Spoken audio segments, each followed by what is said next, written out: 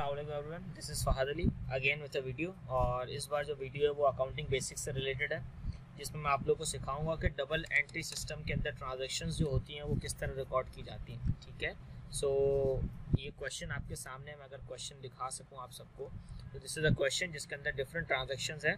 हमारे पास जो डेबिट एंड क्रेडिट का सिस्टम होता है वो डेबिट एंड क्रेडिट के सिस्टम में हम इस तरह समझाते हैं कि debit means something coming in side the business कोई चीज़ अगर बिज़नेस के अंदर आ रही हो तो उसको डेबिट कहते हैं और कोई चीज़ बिज़नेस के बाहर जा रही हो तो उसको क्रेडिट कहते हैं, ठीक है? तो मैं इसको एक एक करके ट्रांजेक्शन को सवाल ट्रांजेक्शन को सॉल्व करता रहूँगा one by one on this white board तो आप लोग देखिएगा डिटेल्स ठीक है? So this is details this is debit debit and this is credit ठीक है? नीचे मैंने डॉलर साइंस लगा दिए। आप चाहें तो इसको एक कॉलमनर फॉर्म फॉर्मेट में कर दें तो ज़्यादा बेहतर रहेगा। ठीक है तो मैं इसको कॉलमनर फॉर्मेट में कर देता हूँ। अब फिर एक एक करके हम एक ट्रांजेक्शन पढ़ना शुरू करते हैं, फिर उस ट्रांजेक्शन को सॉल्व करते हैं। ठीक है? आपके पास है Matthew introduces ten thousand capital by cheque ठीक है? मैथ्यू ने क्या किया? कैपिटल इंट्रोड्यूस करवाया किसके अंदर बिज़नेस के अंदर। तो हमें हमेशा बिज़नेस की नज़र से सोचना होता है। तो बिज़नेस में अगर कैपिटल इंट्रोड्यूस करा तो क्या मतलब? बिज़नेस में पैसा आ रहा है। बाय चेक जहाँ भी चेक का वर्ड आएगा बाय चेक का मतलब है जहाँ भी चेक का वर्ड आएगा तो इसका मतलब क्या है? हम बैंक लिखेंगे। तो बैंक बाय चेक मतलब बैंक किसके बैंक में पैसा आ रहा है? बिज़नेस के बैंक में। बिज़नेस के पास पैसा आ रहा है कैसे? बैंक के थ्रू क्योंकि चेक का वर्ड यूज़ हुआ है यहाँ पे। तो क्या आ रहा है, क्या जा रहा है? सबसे पहले सिंपली देखेंगे। बैंक में पैसा आ रहा है। किसकी बैंक में पैसा आ रहा है? बिज़नेस की बैंक में। तो पैसा आ रहा है तो इसमें इट मीन डेबिट और डेबिट क्या होगा? बैंक होगा, क्योंकि पैसा कहाँ आ रहा है? बैंक के अंदर आ रहा है। तो आप यहाँ पे लिखेंगे सिंपली बैंक डेबिट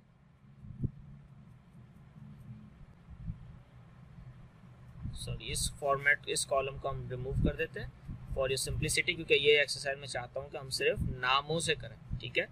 हम इसके अंदर वैल्यूज़ नहीं लिखें। तो पहली ट्रांजेक्शन के अंदर आपके क्या हो गया? पहली ट्रांजेक्शन के अंदर आपके बैंक डेबिट हो गया। ठीक है तो ये ए पार्ट है। मैंने मैंने ये बात बताई आपको और दोबारा रिपीट करता हूँ कि एक चीज़ अगर आपको पता चल जाए ना कि क्या डेबिट हो रहा है तो दूसरी चीज़ ऑटोमेटिकली क्रेडिट होगी। For every debit there is an equal and opposite credit and for every credit there is an equal and opposite debit ठीक हो गया? तो अब आप देखेंगे यहाँ पे तो टेन थाउज़ेंड का कैपिटल इंट्रोड्यूस हुआ तो कैपिटल एक वर्ड है और बैंक एक वर्ड है। तो बैंक में पैसा आ रहा है तो बचा क्या कैपिटल कैपिटल आप कर देंगे क्रेडिट सर हमें कैसे पता चलेगा कौन से दो वर्ड्स टारगेट करने हैं? वो दो वर्ड्स आप सीखेंगे अल्सर से। Asset liabilities capital expense revenue इन पाँचों कैटेगरी में से कोई एक कैटेगरी का वर्ड आपको उसमें नज़र आएगा। जैसे एसेट्स के अंदर बैंक था तो मैंने उस लाइन में से बैंक चूज़ किया। दूसरा, मुझे कैपिटल नज़र आया अल्सर में से तो मैंने क्या किया? कैपिटल क्रेडिट कर दिया और बैंक डेबिट क्योंकि बैंक में पैसा आ रहा था बिज़नेस के। ठीक हो गया, आगे मूव करते हैं। Matthew buy supplies worth four thousand and pays by cheque ठीक है, एक रूल में और समझा दूँ। जब कभी भी गुड्स को खरीदा जाता है तो वहाँ लिखते हैं परचेजेस वहाँ लिखते हैं परचेजेस और जब कभी बेचा जाता है तो वहाँ लिखते हैं सेल्स अब पढ़ते हैं दोबारा ट्रांजेक्शन को। Matthew buy supplies worth four thousand and pays by cheque pays by cheque cheque का मतलब क्या? बैंक तो बैंक क्या हो रहा है इसमें? कम हो रहा है। पेज बाय चेक का मतलब बैंक से पैसा जा रहा है। किसकी बैंक से पैसा जा रहा है? बिज़नेस की बैंक से। तो ऑटोमेटिकली बैंक तो क्रेडिट हो गया। ये बात तो मुझे समझ आ गई अभी तक। अब देखते हैं क्या मैंने गुड्स खरीदे के बेचे। मैथ्यू बायस सप्लाईज बायस का वर्ड यूज़ हुआ तो उसका मतलब खरीदे। और जब कभी भी हम गुड्स खरीदते तो क्या होता है वो? परचेजेस तो मैंने यहाँ लिख दिया ऑटोमेटिकली परचेजेस ठीक हो गया जी। आगे चलते हैं। Matthew buys a delivery van for two thousand and pays by cheque pays by cheque दोबारा बैंक डिक्रीज हो रहा है आपके बिज़नेस का तो आप क्या करेंगे? इस ट्रांजेक्शन को सी में आप बैंक को दोबारा क्रेडिट कर देंगे। अच्छा बिज़नेस के अंदर क्या आ रहा है? डिलीवरी वैन आ रही है, अगर आप फोकस करें यहाँ पे तो। Delivery van Matthew buys delivery van sir आप इसमें परचेजेस क्यों नहीं लिख रहे? क्योंकि आपने तो कहा था गुड्स तो बेटा, यहाँ पे गुड्स का वर्ड यूज़ नहीं हुआ। यहाँ पे डिलीवरी वैन का वर्ड यूज़ हुआ है। जहाँ जहाँ गुड्स का वर्ड यूज़ होगा और खरीदे होंगे तो परचेजेस और गुड्स सोल्ड होंगे तो सेल्स ठीक हो गया? Matthew buys thousand of purchases on credit तो मैथ्यू ने क्या किया? परचेजेस थाउज़ेंड ऑफ़ कर दी। तो उसने क्या बता दिया? इट के परचेजेस की हैं। तो परचेजेस किए हैं तो गुड्स हमारे पास आ रहे हैं। तो गुड्स आते हैं तो परचेजेस डेबिट ठीक हो गया?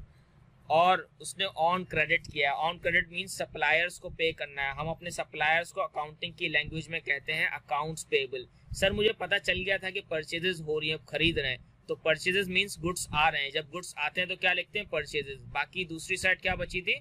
पे करने वाली। तो किसको पे करना है? अकाउंट्स पेबल को, हमारे सप्लायर को। तो बाय डिफ़ॉल्ट दूसरी साइड क्या हो गई? क्रेडिट हो गई। बस एक साइड का तयन आपने करना है। एक साइड आपने डिसाइड करनी है। अदर साइड खुद ब खुद सॉल्व हो जाएगी आपके लिए।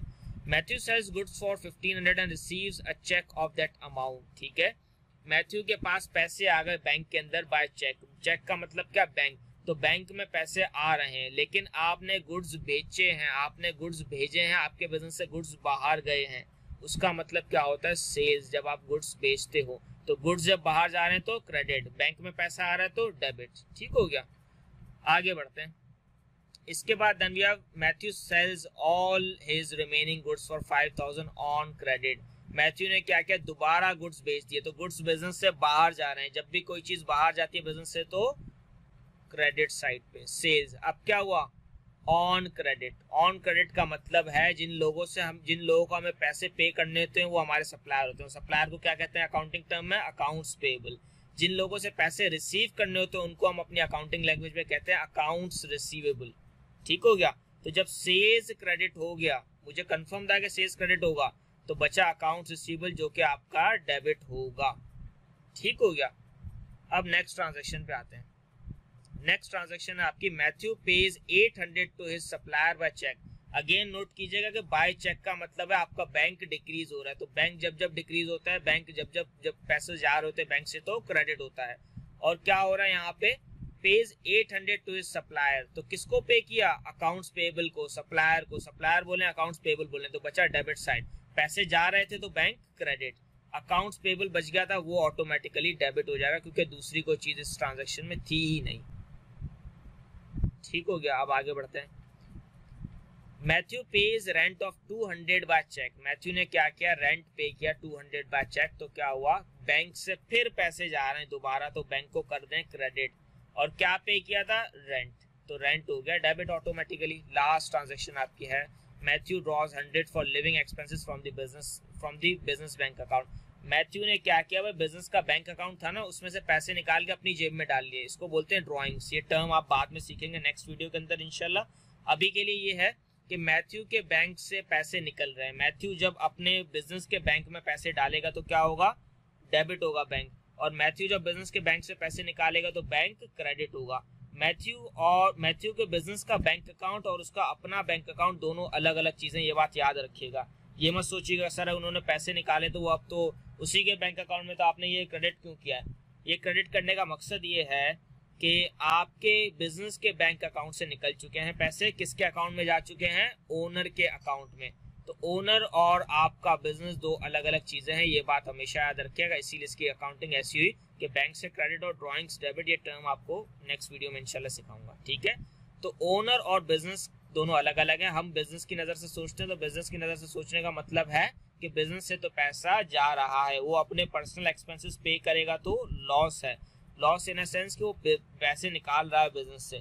और जब वो बिज़नेस से पैसे निकालेगा तो बैंक अकाउंट खाली होगा। जब बैंक अकाउंट खाली होगा तो क्रेडिट होगा। जब कोई चीज़ बिज़नेस से निकलती है तो इट इज़ क्रेडिटेड जब कोई चीज़ आ रही होती है तो डेबिट तो बाय डिफ़ॉल्ट मुझे पता था कि बिज़नेस से पैसे निकलने तो बैंक तो मैंने क्रेडिट कर दिया। तो बचा ड्रॉइंग्स ड्रॉइंग्स का वर्ड यहाँ, वहाँ यूज़ होता है जहाँ पे ओनर अपने पर्सनल यूज़ के लिए पैसे विड्रॉ करता है फ्रॉम बैंक ठीक हो गया? So I hope you like this video पसंद आया तो लाइक कर दीजिएगा और नीचे कोई क्वेश्चन हो तो कॉमेंट करके पूछ लीजिएगा। एंड इंशाल्लाह will meet in the next video तब तक के लिए अल्लाह हाफिज़।